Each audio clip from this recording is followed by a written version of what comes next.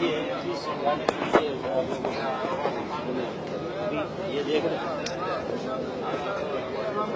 ये देख क्या है ये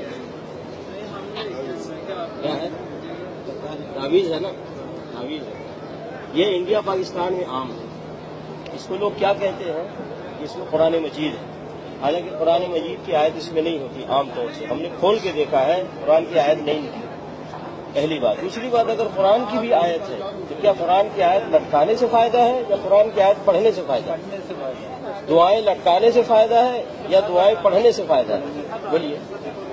अगर कोई कहता है नहीं ये कुरान लटकाने से फ़ायदा है तो कुरान को अल्लाह ने शिफा कहा। तो उसको अगर लटकाने से फ़ायदा है तो अल्लाह ने शहद को भी शिफा कहा। है ना? तो शहद को लटका लिया जाए तो फ़ायदा होगा? या शहद को खाएँगे तो फ़ायदा होगा? खाएँगे तो फ़ायदा होगा। जमजम पानी को नबी वसल्लम ने शिफा कहा। जमजम पानी को लटकाएँगे तो शिफा होगा या कि पियेंगे तो शिफा होगा। तो इसी तरीके से कुरान पढ़ेंगे तो शिफा होगा, कुरान दुआएँ पढ़ेंगे तो शिफा होगा। लटकाने से शिफा नहीं है। नबी सलाम जब किसी मरीज़ के पास जाते तो दुआ करते अल्लाह रब्बन्नास अदहबिल बास, इश्फी अंत शाफी ला शिफा इल्ला शिफा युगादिरु सक़मा। नबी सलाम उस मरीज़ के लिए दुआ करते थे, उसको तावीज नहीं देते थे कि लटका लो।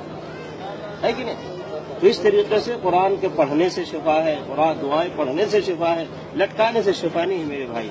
इसलिए ये सब काम नहीं करना मेरे नबी सलाम ने कभी किसी को तावीज नहीं दिया।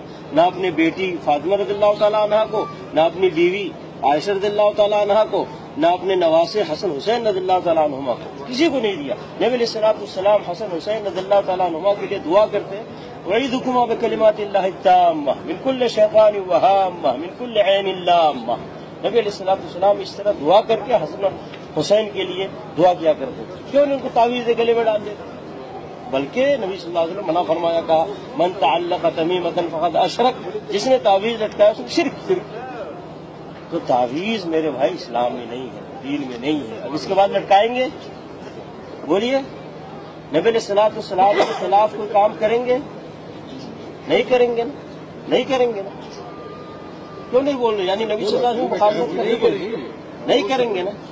तो इसमें तावीज भी पहनना नबी सल्लल्लाहु अलैहि वसल्लम की मुखालफत है। करेंगे ये मुखालफत? नहीं करेंगे। नहीं करेंगे। सीधी सी बात है जो नबी सल्लल्लाहु अलैहि वसल्लम से साबित है वो करेंगे जो साबित नहीं है वो नहीं करेंगे। सीधी सी बात। नबी सलाम की मुखालफत करना कोई अजर है सवाब है? बहुत बड़ा गुनाह है। नबी सलाम की पैरवी करना, ये सवाब का काम है, ये नेकी का काम है। समझ गए मेरे भाई? इसलिए अगर कोई मौलवी, कोई मुफ्ती, कोई हाफिज कुरान अगर ये चीज़ देता है तो नबी सल्लल्लाहु अलैहि वसल्लम की मुखालफत करता है।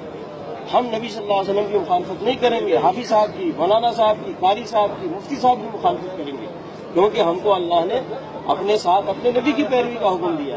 या यूदीन आमनु अतील्लाह अती रसूल है ईमान वालो, अल्लाह की इतात को अल्लाह के रसूल की इतात किसी मौलाना साहब, मुफ्ती साहब, हाफिज साहब कारी साहब की इतात का हुक्म नहीं दिया गया हमको।